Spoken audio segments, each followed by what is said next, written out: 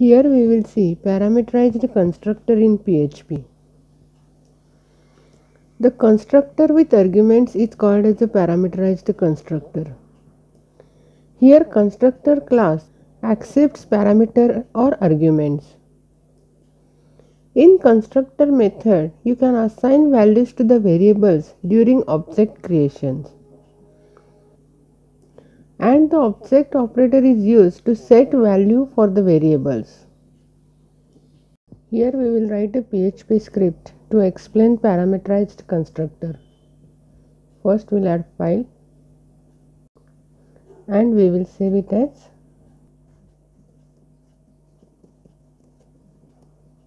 paramconstructor.php. First we will write HTML tag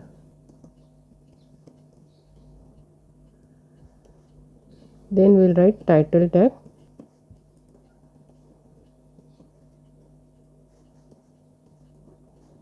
and I will give title parameterized constructor. Then we will write body tag and we will write PHP tag.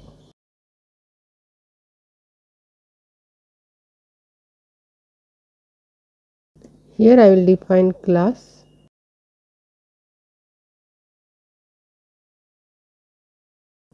under class I will define three variables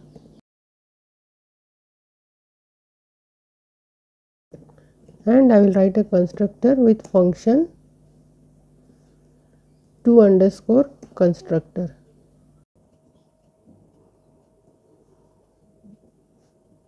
I will define constructor with two parameters.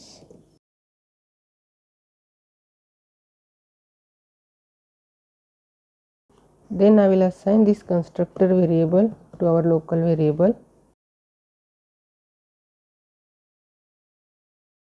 Then I will write a method addition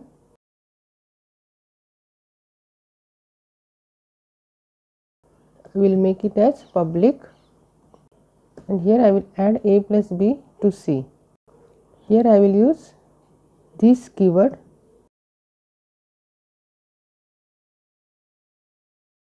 and then I will print it.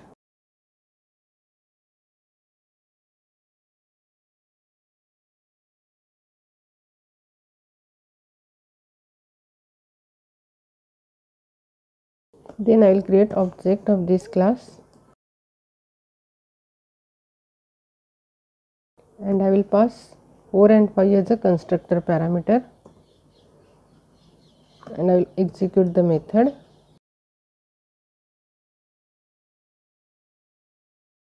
Then I will check Apache server is started. Then I will open the browser. Here I will call the script.